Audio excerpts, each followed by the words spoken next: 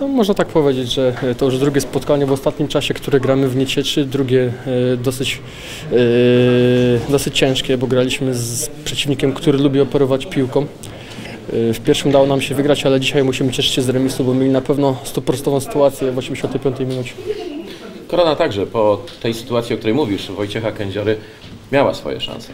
No mieliśmy, na pewno mieliśmy bardzo dobre sytuacje, e, no ale jak już mówię, no Nieciecha stworzyła na pewno sobie tych sytuacji e, więcej od nas i myślę, że możemy zadowoleni z wywiezionego jednego punktu. Czyli z przekroju całego meczu to słoniki lepsze? Czy nie, nie no, lepiej, jeżeli byliby lepsi, to spotkanie wygrali. No, mecz zakończył się remisem, ale po prostu twierdzę, że musimy, musimy szanować ten jeden punkt. Dwa mecze rundy finałowej, dwa remisy, przy czym o ile można było mieć pretensje po tym remisie ze Śląskiem Wrocław, bo czuliśmy niedosyt, o tyle tutaj chyba rzeczywiście bierzemy go z całym dobrodziejstwem. No tak, tak, jak już wspomniałem, że to jest wywieziony, wywieziony punkt, a, nie stracone dwa. Tym bardziej, że każdy punkt przybliża do utrzymania w Ekstraklasie, biorąc też pod uwagę inne wyniki.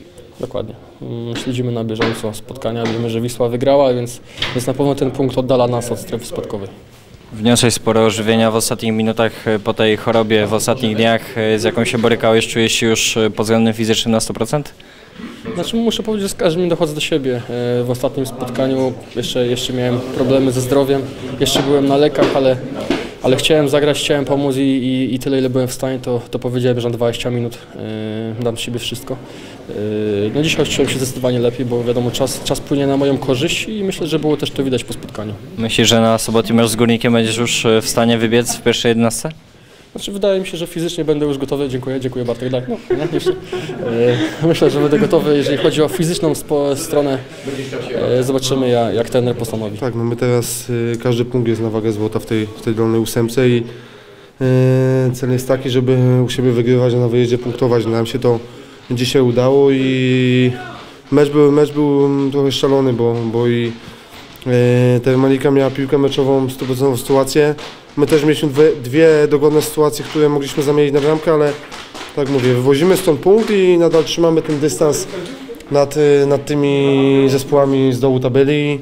I teraz y, w sobotę przyjeżdża Górnik Łęczna, który na pewno bę- będzie chciał y, jeszcze powalczyć, żeby, żeby jak najszybciej zbliżyć się do nas i musimy zrobić wszystko, żeby im y, na to nie pozwolić i, i żeby trzy punkty zostały y, w Kielcach. Nie masz wrażenia, że przez długi czas ten mecz przypominał trochę taką partię szachów z obydwu stron? No tak, no oba zespoły e, nie wychylały się za bardzo, żeby, żeby gdzieś tam nie dostać e, głupiej bramki.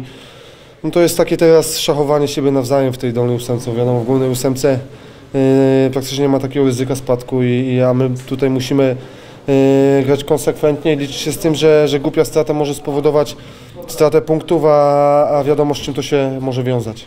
Znów ofensywnie bardzo dobrze nastawiony, usposobiony, między innymi po Twoim dośrodkowaniu, tam blisko Bartek Pawłowski był zamknięcia celnym strzałem tej akcji.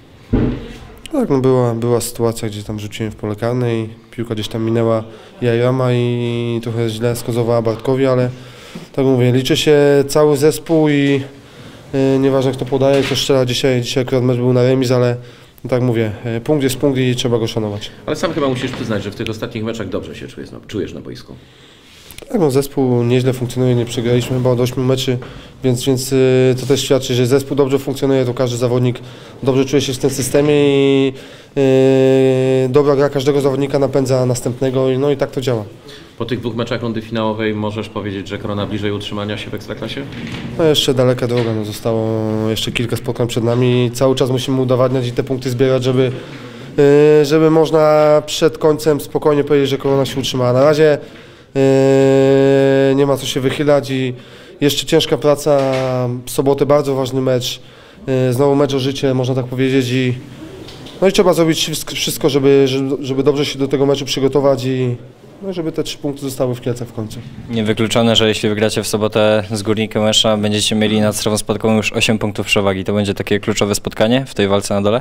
No tak, no od początku wiedzieliśmy, że każdy mecz jest bardzo ważny, a- teraz wiadomo jak sytuacja w tabeli wygląda i delikatną przewagę mamy.